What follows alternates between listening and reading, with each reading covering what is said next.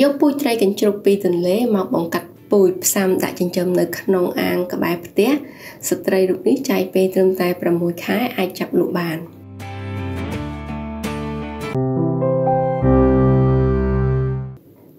ហែលជា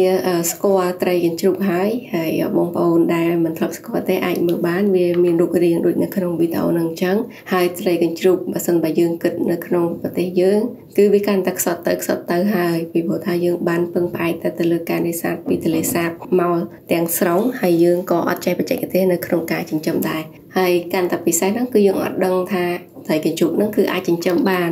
ដូច្នេះហើយទើបខ្ញុំលើកយកប្រធានបទនេះមកនិយាយចង់ចែកអំពីទៅដល់បងប្អូនថានៅក្នុងប្រទេសថៃប្រទេសជិតខាងយើងហ្នឹងហើយគឺគេអាចចិញ្ចឹមត្រីកញ្ជុកនឹងបានហើយបើតាមបទពិសោធន៍របស់ស្ត្រីបងប្អូនបានឃើញនៅក្នុងវីដេអូនេះគាត់បាននិយាយថាដំបូងឡើយក៏គាត់មិនគិតថាត្រីកញ្ជ្រូកនឹងអាចចិញ្ចឹមបានដែរពីព្រោះថាពីមុនមក គឺមិនដែលមានអ្នកណាចិញ្ចឹមទេនៅក្នុងប្រទេសថៃតែដែលហៅថាគាត់គឺជាអ្នកប្រកបរបរចិញ្ចឹមត្រី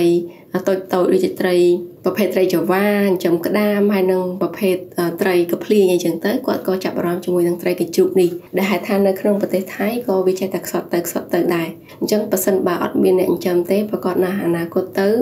មនុស្សចំនួនក្រោយប្រកាសជាអត់ស្គាល់ត្រីនឹងទេពីព្រោះវាអាចនឹងដាច់ពូជដែលហៅថាអត់មានអ្នកចិញ្ចឹមគាត់អញ្ចឹងគាត់ក៏ចាប់ផ្ដើម ដូច្នេះហើយគាត់ក៏ទៅយកត្រីកជ្រូករស់រស់ដែលគាត់ព្យាយាមទៅរកពីអ្នកដែលគេនេសាទនៅតាមទន្លេហ្នឹងដើម្បីយកវាមកផ្សាំដាក់ចិញ្ចឹមនៅក្នុងអាងដើម្បីធ្វើការប្រកាត់ពូជហើយគាត់នឹងក៏ជាអ្នកជំនាញប្រកាត់ពូជត្រីដែរអញ្ចឹងគាត់សាកល្បងធ្វើការប្រកាត់ពូជត្រីកញ្ជុកនេះដូចទៅនឹងពូជត្រីផ្សេងទៀតអញ្ចឹងដែរបងប្អូនគឺអត់ខុសគ្នាទេគឺគាត់បានចែកអំរៃបែបហ្នឹងអញ្ចឹងក៏ទទួលបានជោគជ័យដែលវាអាចមានភាគរយបកកកំណើតបានខ្ពស់ហើយមួយវិញទៀត វាងាយស្រួលចិញ្ចឹមដូចត្រីអីផ្សេងទៀតដែរគាត់ថាត្រីកញ្ជុកនេះវាទៀមទាឲ្យយើងដាក់ចម្រោកឲ្យវាដូចទៅនឹងបកងបងប្អូនវាតែការកំពង់ទីបឬក៏យើងដាក់មេឈើយើងអាចដាក់ដុំឥដ្ឋដើម្បីនិយាយទៅ មានថ្មមានអីដើម្បីឲ្យវាអាចចូលទៅជ្រោកបានដូចបងប្អូនបានឃើញនៅក្នុងវីដេអូហ្នឹងអញ្ចឹងបើសិនបាននិយាយស្រួលស្ដាប់គឺស្ថានភាពឬក៏បរិយាកាសនៅក្នុងអាងចំត្រីកជ្រូកហ្នឹង ដូចទៅនឹងអាងចំបកងដែរបងប្អូនមានទីបមានអីចឹងទៅហើយយើងក៏មានដាំគូនមានអីនៅក្នុងហ្នឹងចឹងធ្វើយ៉ាងណាឲ្យវាមានចម្រោកដើម្បីធ្វើការលាក់ខ្លួនហើយបរិយាកាសគឺដូចទៅនឹងស្តៀងទៅនឹងធម្មជាតិក៏ប៉ុន្តែតង់ដែរក៏ប៉ុន្តែអាងដែលបងប្អូនធ្វើការដាក់ចិញ្ចឹមត្រីកជ្រូកនេះគឺទាមទារឲ្យយើងត្រូវ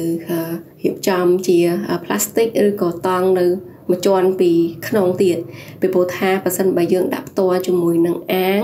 ស៊ីម៉ង់ វាអាចត្រីនឹងវាអាចប៉ះពាល់ជាមួយនឹងបរិវេណឬក៏ផ្ទៃរបស់អាងអញ្ចឹងអាចធ្វើឲ្យវាមានរបួសអញ្ចឹងដែរអញ្ចឹងគឺគេលើកទឹកចិត្តឲ្យយើងធ្វើការដាក់ចិញ្ចឹមដោយប្រើទំនាប់ផ្លាស្ទិកហ្នឹងដើម្បីធ្វើការដាក់ចិញ្ចឹមវាហើយចំពោះរយៈពេលចិញ្ចឹមគាត់ថាវាអាស្រ័យទៅតាមតម្រូវការនៅលើទីផ្សារទេអត់ទៅ4ខែក៏យើងអាចចាប់លក់បានដែរប៉ុន្តែវាទំហំតូចតូចអញ្ចឹងបើសិនបើគេត្រូវការយកទៅបំពងម្សៅ ឬក៏ចៀនញ៉ាំក្រៀមក្រៀមទេគឺប៉ុណ្ណឹងគឺគេត្រូវការតែបើសិនបើគេចង់បានធំធំគេយកទៅ slow ឬក៏ធ្វើម្ហូបអីផ្សេងហ្នឹងអាចទុកដល់6ខែអញ្ចឹងគឺគាត់អត់កំណត់ថាប៉ុណ្ណានឹងអាចចាប់លក់បានទេគ្រាន់ថាបើសិនបើជាតម្រូវការច្រើនបំផុត គឺ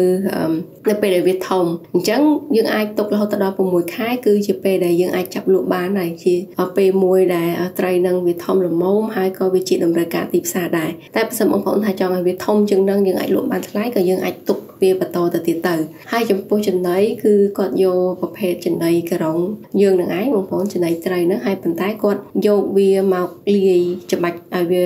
លាយអស់ហើយគាត់លាយជាមួយកន្ទក់ ហើយធ្វើការ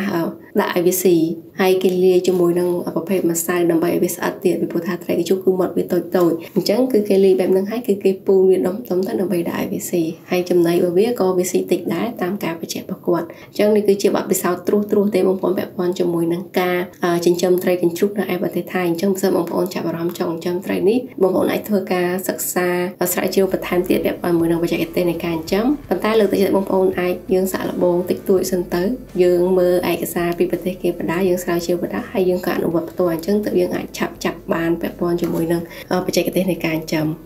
ចាអរគុណ